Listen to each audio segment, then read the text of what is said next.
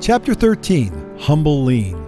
Besides having 100% emotional commitment, actually, I think I said you need 1,000%, a lean leader must be humble. What does that look like?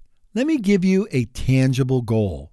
Commit yourself to validating, complimenting, and recognizing the work of your employees at least 10 times a day. Your people should be accustomed to hearing you say things like, That's a great idea, Bob. Or, Mary, I really appreciate how hard you're working on this project.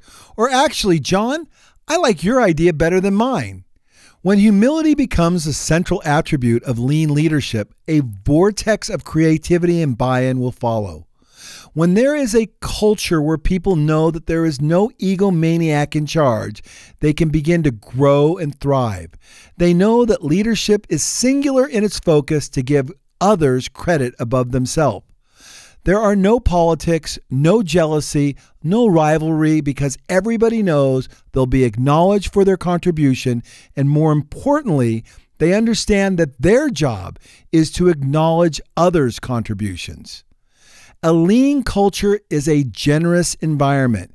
It's generous in giving credit to others, generous in respect, generous in offering ideas, support, and help. The lean leader has an ego strong enough to solicit and welcome ideas from absolutely every person involved and will recognize everyone's contribution as valuable. In fact, a lean leader gets excited by the prospect of unleashing all that untapped creativity and problem solving genius that lies dormant in most organizations. While many people will be shy and not so forthcoming at first, it is a universal human desire to be validated and respected. Once they get used to being asked, What bugs you? or How would you fix this? you can expect an ocean of creativity flowing through your organization in no time. It is an amazing coincidence while writing this chapter that one of my employees, Pablo, approached me on the shop floor. He noticed that I had submitted an order for the wrong material to be used on one of our products. He asked me, Paul, I was just wondering if you intended to order brand X, since we had discussed this other brand would probably be more superior in performance. I slapped my forehead in recognition and said, Oh, wow. Thank you so much. You're absolutely right. I still had time to cancel the wrong order and change it to the correct material. I thanked Pablo profusely for catching my mistake. Later that day, Pablo, who is six foot three and a specimen of athletic perfection and should have an ego the size of Texas, made a point of approaching me to say, Paul, I thought you should know it was actually Alexi who caught the mistake. He just had to leave early, so I told him I would pass it on to you. I just wanted to make sure you knew that. This is the spirit of a lean culture.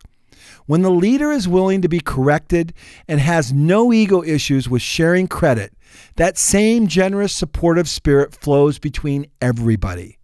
In a less hospitable environment, Pablo might have grumbled about my mistake, shaking his head all the while, watching the mistake lead to more mistakes, and then after all that wasted energy, might have been satisfied saying, See, I knew it wouldn't work.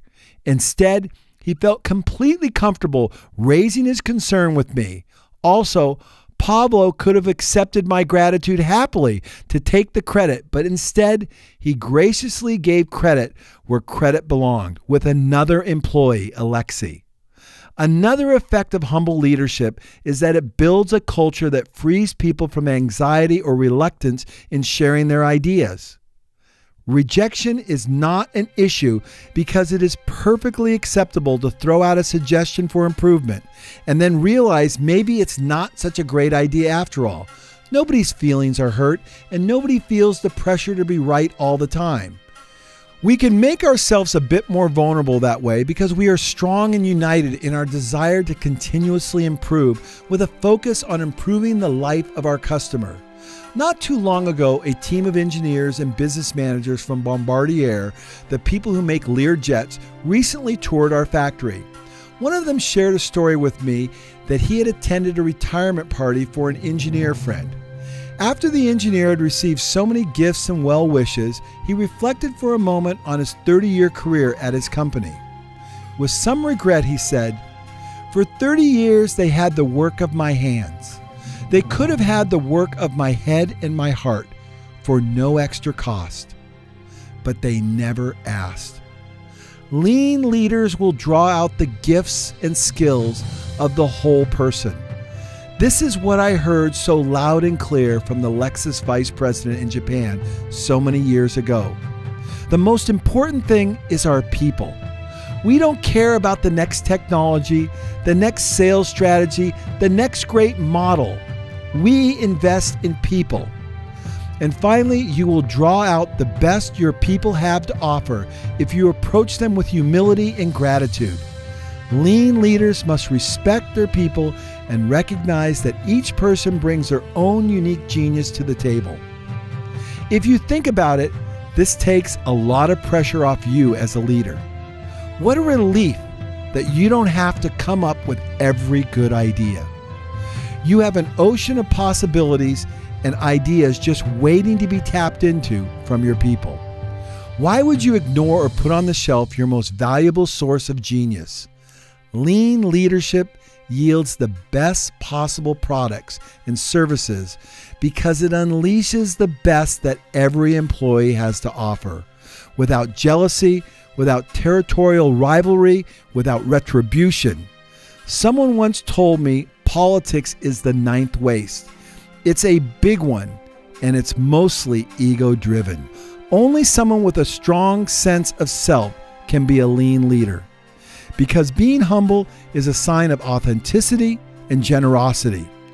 In the end, this book is really not about lean or operational excellence, two second improvements, a culture, 3Sing, learn to see tours. It is all about leadership excellence. When leaders lead with world class principles that are thoughtfully applied, the sky is the limit. The one thing humility is the path to greatness. Lean videos that I recommend two second lean improvement and lean land tech excellence in leadership. I hope you've enjoyed this audiobook. I've enjoyed writing it and spending this time with you. And of course, if you have any questions or comments, feel free to email me directly at paul at fastcap.com. And I wish you the very best on your lean journey.